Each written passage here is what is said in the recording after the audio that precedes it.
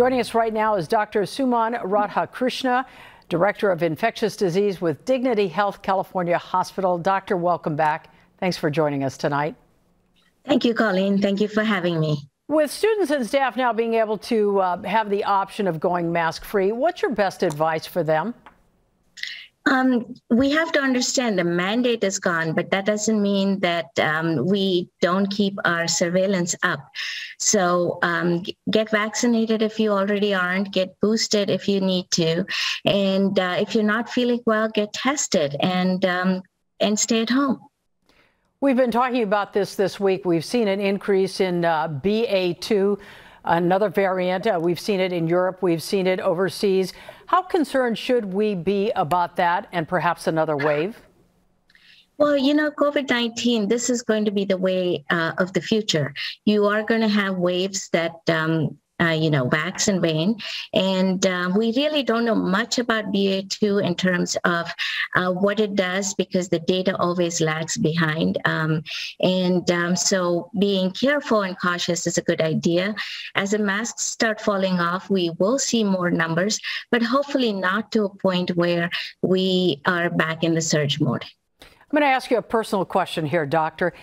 Don't be alarmed. It's just a simple question. If there's one place that you would mask up at this point, where would it be?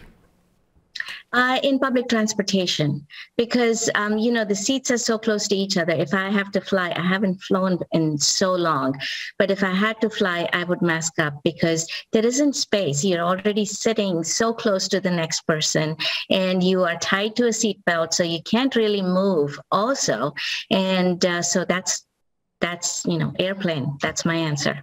Public transportation. All right. What are your chances of getting COVID again? Let's say you had it a couple of months ago during the winter surge. Um, it, you know, Omicron showed that people can get COVID again.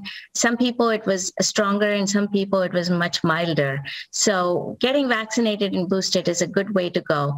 And remember that social distancing, and if someone's obviously sneezing and coughing, if they didn't realize that they had to go home, maybe you know, urging your coworkers to go back home would be a good idea. Well, you raise an interesting point here. A lot of people complaining about allergies and maybe feeling like they're getting a cold. How do you really tell the difference between COVID and allergies, maybe the flu or perhaps even a cold? You know, initially it's hard, and the symptoms are very, very um, you know they overlap.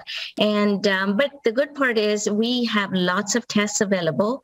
And uh, most people who are allergy suffer- sufferers know the difference because of the fact that it's seasonal and you know the flowers are starting to bloom. And if you're sneezing that's more likely allergies. But if you're around somebody who was sick then perhaps it's covid best thing get tested if you're not sure and you can work from home remotely go ahead and do that and uh, finally if um, it's been six months since your last vaccine doses, get vaccinated.